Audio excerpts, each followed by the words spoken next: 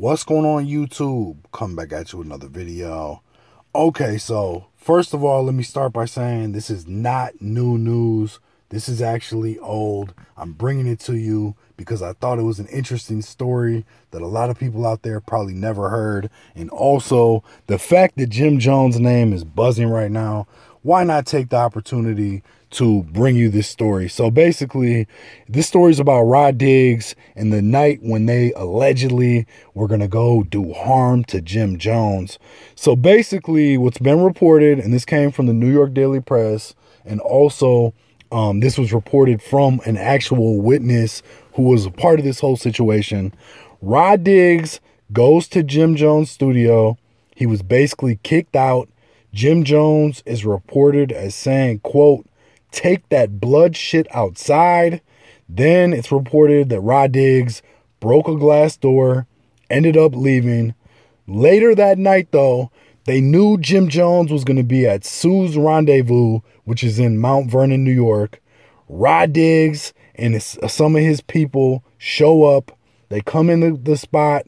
Um, the DJ sees Ra Diggs, announces Ra Diggs is in the building. Jim Jones apparently hears the DJ, lays eyes on Ra Diggs, and is reported as looking like he's seen a ghost. So Jim Jones um, saw Ra Diggs. Apparently, he was able to leave. Jim Jones made it out the building safe.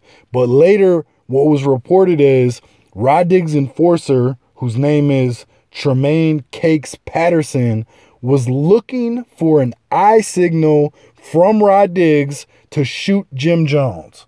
So Jim Jones escaped this situation with his life, and the Ra Diggs story did not end well for him. He was indicted uh, in multiple different counts. He got 12 life sentences. Actually, one of the most interesting parts of this case, and there was a lot of interesting parts, was the fact that Ra Diggs's lyrics were used against him in this indictment, which was like groundbreaking. This has basically never happened before, where somebody's lyrics were used as evidence against them. He actually, during trial or after he blew trial, I should say, um, appealed it and claimed his rights were violated because prosecutors shouldn't have been allowed to use the lyrics. One of the songs referenced was called Live by the Gun with Waka Flocka. He has some lyrics in there about somebody shot him five times. Two days later, that dude died. Something along those lines. And um, they used it against him and basically was part of making this conviction. So the video, this is what the district attorney was saying, or the prosecutor, in regards to Ra Diggs' appeal. The videos offered as evidence of Herron's participation in the charged conspiracies and crimes, his position as a leader of the MMDB, which is Murderous Mad Dog Bloods, his familiarity with firearms and the drug trade, and his relationship to certain cooperating witnesses are plainly relevant. So the DA um, you know, arguing that using the lyrics made perfect sense based on the situation that the lyrics actually coincided with these real acts and Ra Diggs lost his appeal. He's now residing in AdMax in Colorado, which is basically like the worst place you could ever be. It's hell on earth. 23 hour lockdown, no kind of interaction with other people. You're by yourself all the time.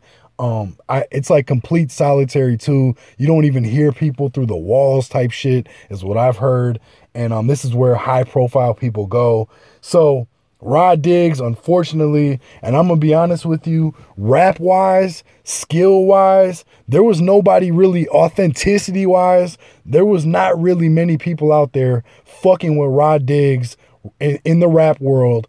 And to me, honestly, if not number one, Ra Diggs is number two. Ra Diggs and Stack Bundles are my number one and my number two favorite rappers of all time. And without question, Ra Diggs had so much talent and so much ability to be something great. He was a genius. He was very smart, very well spoken. He had a large um, vocabulary. Like he was just really an all around impressive dude. And it's sad to see the way his situation turned out.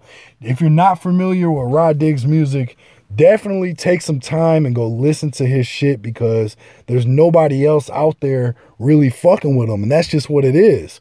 But let me know what you guys think about this whole story about Jim Jones leaving with his life from Sue's rendezvous when allegedly or apparently Ra Diggs was going to shoot him or have him shot.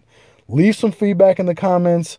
I appreciate you watching. Hit the like, subscribe, share. Make sure you ring the notification bell. If you like these kind of story videos too, definitely leave some feedback and um, I'll definitely do more of them for you. I appreciate you watching. Peace.